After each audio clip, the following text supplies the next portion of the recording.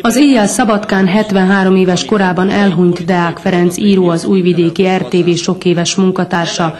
1938. január 1-én született Magyarita Bén. Iparművészeti diplomával 1960-ban a képes sport műszaki szerkesztője lett, de már a következő évtől újságíróként dolgozott az Ifjúság című hetilapnál, majd az Újvidéki Rádióban dramaturként tevékenykedett.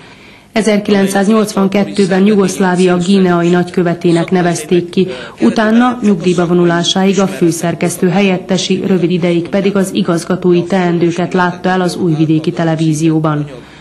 Sikeres forgatókönyv és drámaíróként vált ismerté.